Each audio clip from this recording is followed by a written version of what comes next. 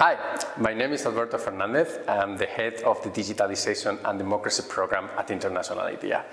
We, together with the Forum on Information and Democracy and Democracy Reporting International, have recently published a policy brief that aims at providing a number of recommendations to private companies and to states on how to protect the information environment during elections.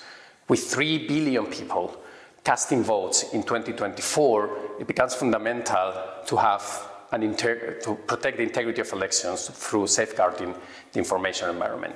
We recommend doing this through, for instance, increasing the financial controls um, to political advertisement and that type of activities online, to increase um, the collaboration of private companies with electoral management bodies, to amplify correct electoral information online, and to protect marginalized, traditionally marginalized communities uh, online, especially uh, women and the LGBT community.